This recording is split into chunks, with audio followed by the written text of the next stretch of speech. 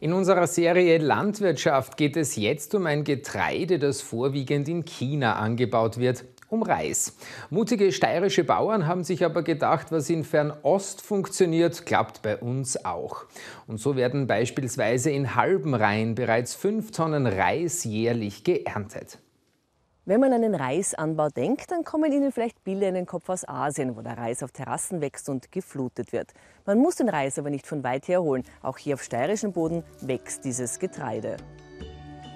So weit nördlich in Europa Reis anzubauen, war trotz Klimawandel ein mutiges Unterfangen. Die Klimazonen wandern ja von Süden nach Norden. Da haben wir gedacht, ich schaue mal in die Gegenrichtung, schaue nach Süden. Habe.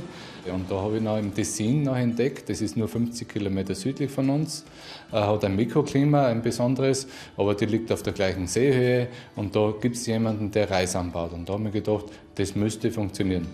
Der Querdenker hat das Saatgut, es handelt sich um Trockenreis, 2014 aus Italien nach Österreich gekarrt. Damals dachte er noch nicht an große Erntemengen.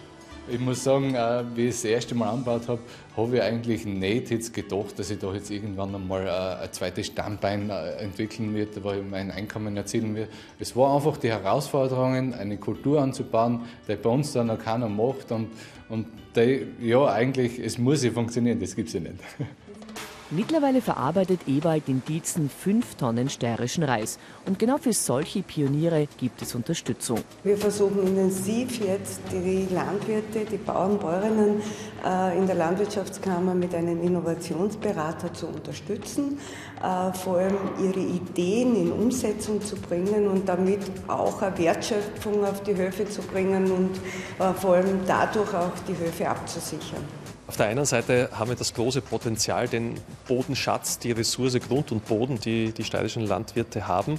Und auf der anderen Seite den Schatz, nämlich der Kreativität. Also diese beiden Schätze müssen kombiniert werden, damit man auf neue wirtschaftliche Ideen kommt.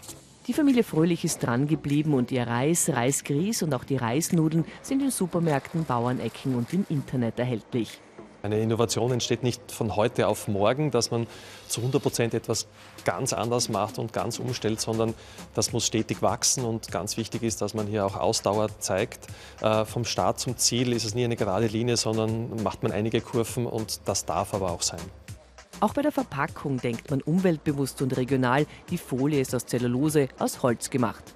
Und weil das Landwirtschaftsteam beim Verbacken geholfen hat, dürfen wir den steirischen Reis der Familie Fröhlich in den verschiedensten Variationen kosten.